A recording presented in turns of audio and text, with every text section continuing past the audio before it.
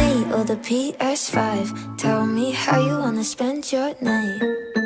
Three's feeling way too tight. So if it's not me, then I'm probably